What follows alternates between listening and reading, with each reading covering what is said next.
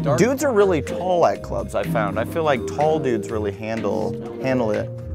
I have to like stand on like the if there's like the dance floor, I have to be on like on the third step up, and then I'm like right in the mix Girls with them. roll up on you, you're like, hey, duk, duk, duk.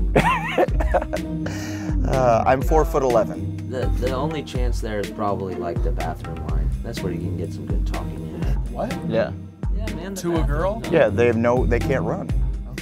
Okay. They're they're trying to pee. They can't escape. The girls' line is always long. You about to go pee? Yeah. Nice. Mm-hmm. How bad you gotta go? So is it number one, number two? Yeah. Oh. Nice butt. Do you wipe it? Yeah, that's a good my one. pickup line. Yeah, that's a good pickup line. It's in the show. Stay tuned. It's in the show. There's a second part to it all. Uh, we're the guys from Workaholics. Yeah, and you could become a better man at. AskMen.com.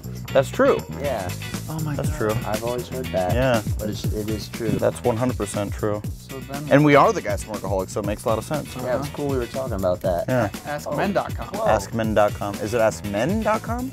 There's a Askmen. Askmen.com is a totally different Askmen. website. Yeah, that's true. But be sure and check them both out.